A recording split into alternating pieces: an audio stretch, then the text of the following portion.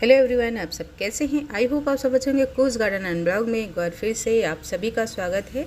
आज की वीडियो में हम बात करने वाले हैं ऐसे प्लांट के बारे में जिसमें गर्मियों के मौसम में काफ़ी फूल आते हैं भर भर के फ्लावरिंग होती है। सही टाइम पे सही फर्टिलाइज़र दिया जाए तो आपके प्लांट में ढेरों फूल आएँगे। कभी कभी कुछ गलतियाँ ऐसी कर देते हैं जिससे हमारे प्लांट की ग्रोथ तो अच्छी होती है, लेकिन उनमें फ्लावरिंग नहीं होती है। तो ऐसी कौन सी खाद डालें जिससे प्लांट में अच्छी फ्लावरिंग हो? अक्सर होता है, फाचुला का प्लांट हम नर्सरी से लेके आते हैं तो कुछ टाइम बाद एक दो बार फ्लावरिंग करके प्लांट सूखने लगता है तो इससे बचने के लिए हमें क्या करना है? इसके बारे में मैं बताने वाली हूँ और कुछ केयर टिप्स भी बताऊँगी, जिससे आपके प्लांट में की ग्रोथ अच्छी होगी और अच्छी फ्लावरिंग होगी। फाचुलागा को आप कटिंग से ग्रो कर सकते हैं, अगर आप एक प्लांट कहीं से लाते हैं तो उससे काफ़ी पौधे बना सकते हैं।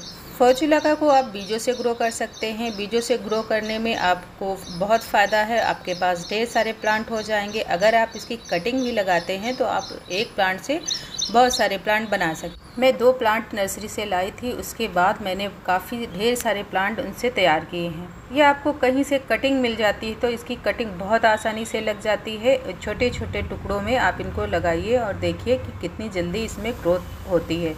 अगर आप नर्सरी से पौधा लाते हैं और उसको लगाने के बाद गमले की मिट्टी सूखने से पहले उसमें पानी डालते हैं तो उसमें ओवर वाटिंग हो जाती है तो प्लांट की जड़ें गलने लगती हैं। और जड़ें गलने लगती हैं तो धीरे धीरे करके प्लांट सूख जाता है। तो ओवर वाटिंग से बचना चाहिए। और दूसरा चीज़ है, अगर आप अपने पौधे को न्यूट्रिशन नहीं दे रहे हैं तो उनके फूलों का साइज़ काफ़ी छोटा आएगा। बहुत कम फ्लावरिंग होगी, उनका साइज़ छोटा होगा। इसलिए पौधों को सही टाइम पे न्यूट्रिशन देना बहुत ज़रूरी हो जाता है। देखिए, मेरे प्लांट में कितनी ढेर सारी कलियाँ बनी हुई हैं और इससे मैंने बहुत सारे प्लांट तैयार किए हैं। जब मैं नर्सरी से पौधा लाई थी, उसके बाद मेरे प्लांट के जो फूल थे, उनका साइज़ काफ़ी छोटा था।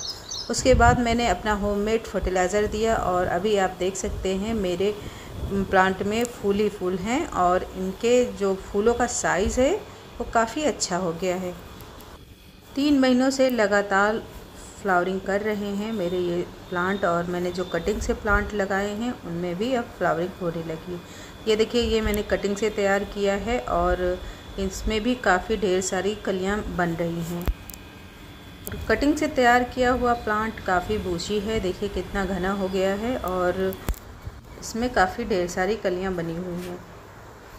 तो ये देखिए, ये सारे प्लांट मैंने कटिंग से तैयार किए हैं और इनकी भी ग्रोथ काफ़ी अच्छी है। अब इसमें भी कलियाँ बनने लगी हैं।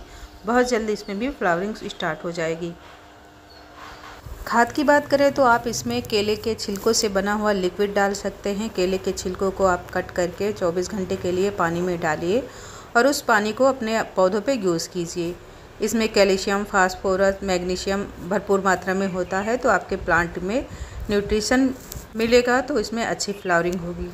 दूसरा, आप लीप कंपोस्ट डाल सकते हैं। लीप कंपोस्ट में नाइट्रोजन, फास्फोरस, कैल्शियम, मैग्नीशियम सभी पोषक तत्व मौजूद होते हैं, जिससे हमारे प्लांट की ग्रोथ अच्छी होगी, फ्लावरिंग अच्छी होगी। तो आप उसका यूज़ कर सकते हैं। लीप कंपोस्ट आप घर पे भी बना सकते हैं और बाहर से भी ले सकते हैं। तीसरा, फर्टिलाइज़र आप प्याज के छिलकों को आप पानी में डुबा के रखिए। उस पानी का आप अपने प्लांट पे यूज़ कीजिए। तो देखिएगा कितनी जल्दी और कितनी ढेर सारी फ्लावरिंग होती है। तो आज के लिए इतना ही। उम्मीद है मेरी दी जानकारी आपको अच्छी लगी होगी। अच्छी लगी है तो लाइक और शेयर कीजिएगा। चैनल पे नए हैं तो चैनल को सब्सक्राइब कीजिए, बेल आइकन प्रेस कीजिए, ताकि जब भी मैं कोई न्यू वीडियो अपलोड करूँ, उसका नोटिफिकेशन आपको मिल जाए। Thank you for watching. Bye bye.